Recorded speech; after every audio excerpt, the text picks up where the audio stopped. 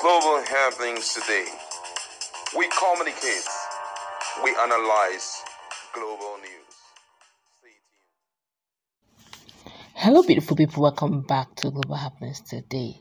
Some few weeks ago, a special appeal court was inaugurated to look into the issue of the River State crisis, the many legal issues. Of course, some of the cases were heard, but some were kept till today. Fast forward, the result is out.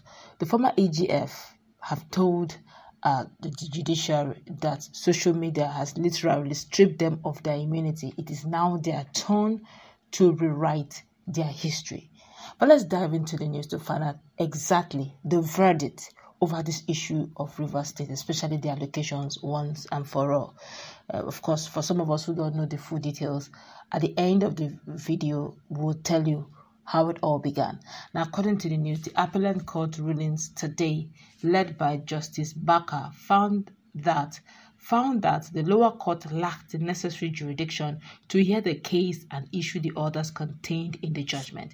Now, the appeal court upheld the argument presented by River State Legal Counsel, Chief Chris, Chief Chris Uche, Senior Advocate of Nigeria, SAN, that the federal court had no authority to entertain disputes about the state's revenue. Now, the case in question involved the seizure of funds meant for River State, with the Federal High Court directing the Central Bank of Nigeria and the state's bankers to withhold the release of funds to the state. The ruling was based on the claim that Governor Siminalayi Fubara had failed to present the state 2024 budget to the proper House of Assembly.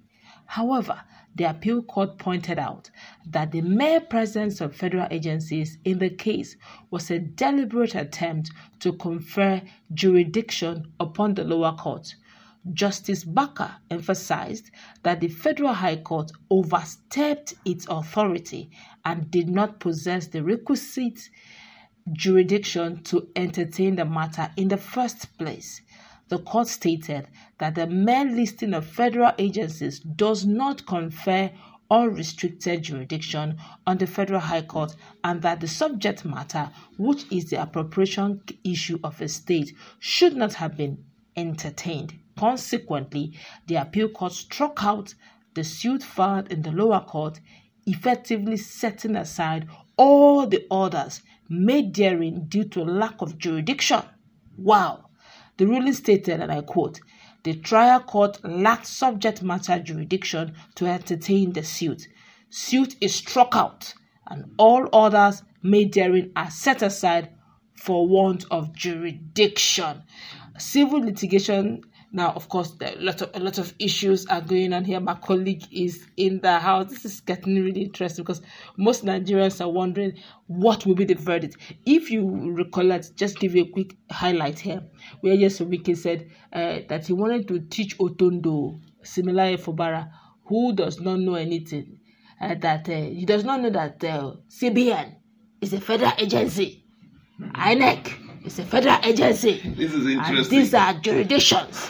Now, the special appeal has said it's not enough. What's your take? This is really interesting, honestly. I, I, I think this is thumbs up for um, the judiciary. Yes. This will brighten their faces again before Nigerians, and uh, it, it's a big win also for the person of Fubara. And I think celebration should be ongoing right now. And, uh, oh my God, I'm, I'm I'm so excited about the news because number one, uh, the same thing we have been talking about you know, most people were being tagged television, lawyers, and all yeah. of that. But then the issue of jurisdiction is something that even a, a, a, a mere charge and bail. charge and bail lawyer will know, or even not church and bail, even another person who is, you know, at least have an idea of law should be able to tell you areas or, or jurisdiction and tell you which case that should not go to the Federal High Court. And I, I, don't know how this came about, but I must say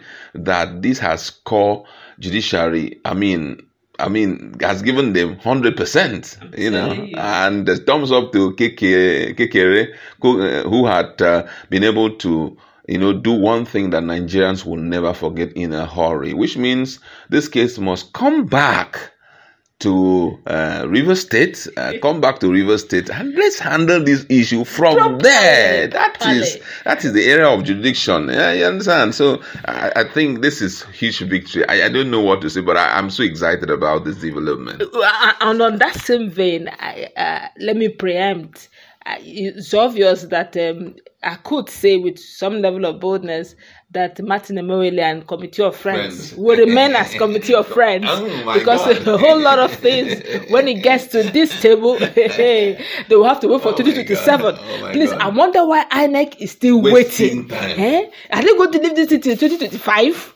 Eh, it's almost wrapping up. They said mid December. Mid December, we have not seen any by elections, but but let's say a place maybe they are waiting for this special people. But you know, the, before now there have been this ups and down about this appeal. Yeah. they are changing the judges and all that. But finally because they had actually shifted one of their cases till today. Oh, and you know so that's why the Ufere, you know shifted because after a while the pressure was really on them. A lot of nigerians wanted to find out their verdict. But their verdict is very nice honestly. mm, yeah. Uh, but then again what do you think would be going through the mind of fubara ugochinyere and the likes who were literally you know? And the former agf said something unique. He said look social media have stripped judiciary of whatever immunity they have. It's mm. now their time mm-hmm. to rewrite their history, their own history, wow. using the recent judgment. And uh, if you ask me, what do you think they've just done? I, I think they have done that exactly. Nigerians are happy about this development for once.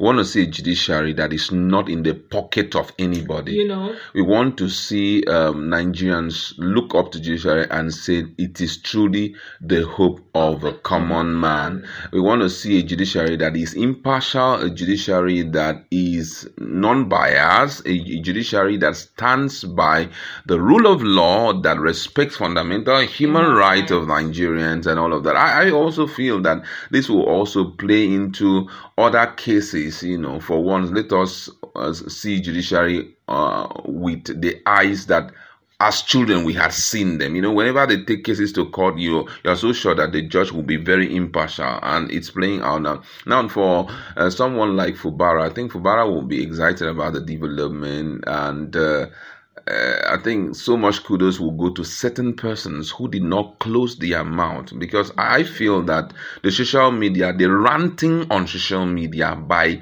some top persons, mostly some of the senior advocates of Nigeria, you know, Lord, Dele, imagine what happened. All this issue of uh, Dele Farotimi, it's because of the fact that, you know, the criminality that we person that Nigerians perceive about judiciary. But with this development, come on, somehow I think that uh, they have been able to get they what they right, want. Right step. Exactly. Yet, but they are close. They are close. But, but I, I, think that for someone like Wike, he won't give up. He will take the case, scale it up to Supreme Court. Yeah. I think I, I think that's the next thing that will happen. But since um, judiciary is still in the pursuit of rewriting their history. Uh, history again, I think they will still give it to uh, River State, and I think everything is going to be settled once and for all. All right, that's we're going to wrap it up. Let's meet in our comment section. Let's